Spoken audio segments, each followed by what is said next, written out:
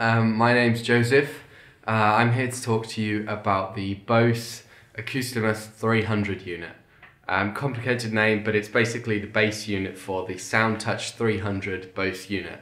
So first I'm going to show you a few shots of the unit and an unboxing video I did, um, which will just be quick but to show you what comes in the package, how well packaged it is, etc. Okay, so here we have the box.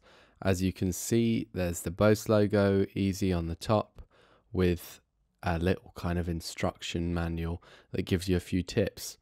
Um, the box is well packaged, it has a photo on it, and here you can see that it's some nice design they've done on it. Um, lots of pictures of the product. You have different languages, um, little guides to opening, etc. Again, a few more details on the top of the box. I really like the packaging, um, very premium. So you open it and you can take off that cover and that little instruction manual. As you can see here, it just gives you a very quick start guide. There's not much to setting this up once you already have the soundbar. Um, all very smart, the packaging, really liked it. You've got the AC power plug um, right in the actual posting box. Then you take it out of the main box and you come to this, your register the package um, part, which just, um, and you get to the next stage, which is where you actually find your lovely Bose unit. As you can see, um, this box is nice and protective. Um, the, the, the polystyrene is thick, which is, is good because it is a heavy product and obviously there's a whole glass top there. Um, and after that you take another box off and you get to this clever kind of fold away bit. And you have your beautiful bass soundbar um, as you can see here it's got a lovely glass top with the logo on it. Um, really cool design features. Really ju- yeah just kind of excellent top level design. Okay, so Okay, so after you take it out of the box, you of course have to set it all up. Um, and this can be quite daunting sometimes with some equipment and things you have in your home, even ones which are meant to be for general consumers. It can not always be the easiest thing to do. But one of the best parts of the Bose setup with the SoundTouch and the Acoustimass is the ease of use when it comes to setting it all up. So once you've got your SoundTouch set up and plugged into all your television equipment, etc., it's not hard at all to get the Acoustimass working with it. Um, I recommend you do look at the manual because there's a specific buttons that you have to press to at the same time to get the, the bass, to get the SoundTouch unit into pairing mode. The bass unit will automatically search for the SoundTouch one as, as soon as the SoundTouch bar is in pairing mode, the bass one will pair with it. It's not difficult at all. I had no problems. So one of the best things about this to me is the it's films and music. Well, two of the best things. Um, so I think that the this setup with the sound touch unit and the the Acoustimass unit work really well for films and music, which is really good. Um, music comes out really crisp, and once you pair the Acoustimass unit with the sound touch unit, um, I think you get a much richer experience. You can hear um, notes that wouldn't usually be heard on most speaker settings, uh, setups.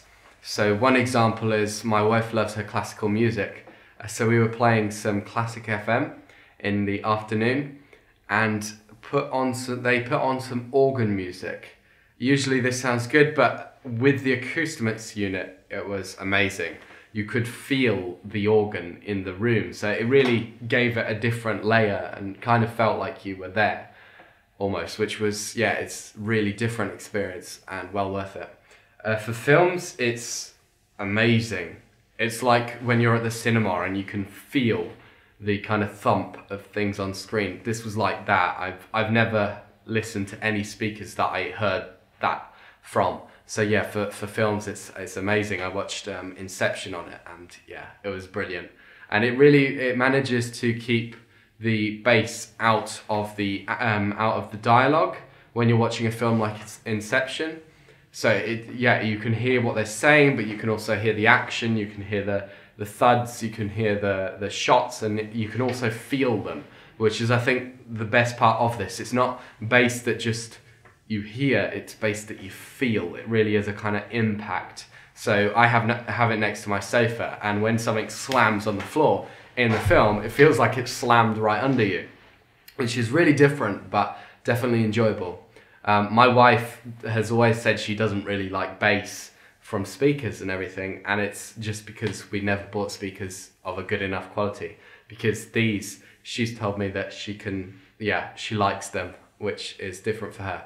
Um, so yeah, they, they're definitely good. I would recommend purchasing them if you can afford them, and that's probably the worst downside of these speakers is their cost.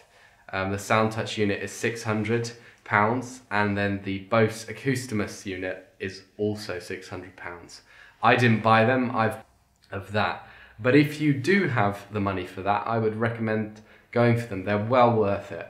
And you could probably save some money if you were going for a wired system, etc. But I think that Bose weren't going for those people who want to wire their whole living room. They're going for the people who want really excellent quality, but really easy setup as well. Um, you just plug the two in really and calibrate it to your room, and then you're done. And the calibration is all automatic. You just put this little headset on and you plug it into your soundbar and then it does tones and it asks you to sit in certain locations, which it all explains to you.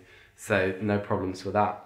So definitely, yeah, if if you can afford the device, go for it. It's well, it's competitive and worth it in terms of the quality. You you don't feel like you've paid more than you should have. Um, it's a lovely design, as you saw in the video earlier.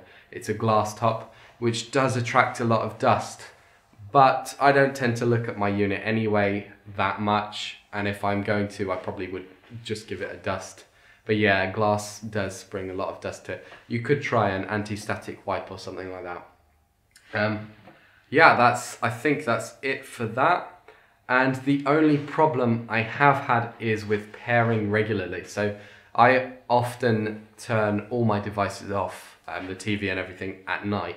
Um, which doesn't really help them in terms of because they should be going in standby and all that. So sometimes it, I find that the sound touch unit, if pl- um, plugged in at the same time as the bass unit, doesn't connect to the bass unit unless you turn the bass one on and off again. So what you have to do is you just have to, well, either leave them in standby or you need to have access to the bass plug so that you can plug it in and out if you're turning everything off. Most people just leave stuff on standby, and if you do that, it will stay connected. But if you're the kind who likes to turn it all off at the plug, be aware that you will need to turn your SoundTouch bar on, then your bass unit. Yeah, if you've got any questions, let me know. I'm sorry it took so long. I've done this video about three times on different setups. I was away, so I was trying to do it on my other camera, and it just wasn't working out. So yeah, thanks for watching. If you liked it, subscribe um, and hit the like button. Uh, see you soon.